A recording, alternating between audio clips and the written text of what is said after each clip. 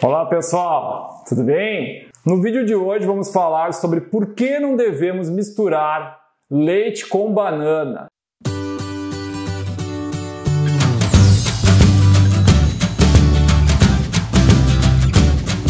Muitas pessoas têm o hábito de consumir vitaminas e para fazer essas vitaminas geralmente elas usam leite. Mas será que isso é correto? Apesar de a prática de misturar leite com fruta ser comum, ela não é saudável, não é um hábito saudável. Entre as vitaminas de leite mais consumidas pelas pessoas, uma delas é a vitamina de leite com banana, uma fruta muito apreciada pelas pessoas em geral. De acordo com o Ayurveda, uma ciência da saúde que é praticada há milhares de anos, consumir banana com leite provoca uma diminuição da capacidade digestiva e também provoca uma modificação da flora intestinal.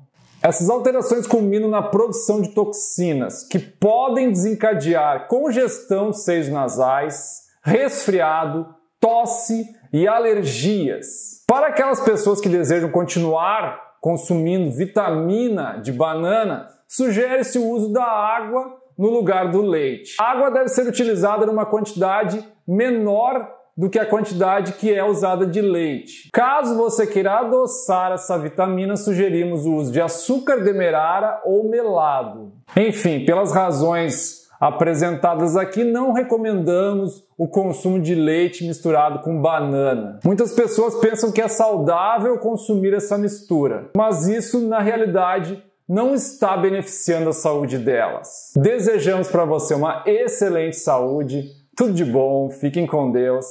Tchau!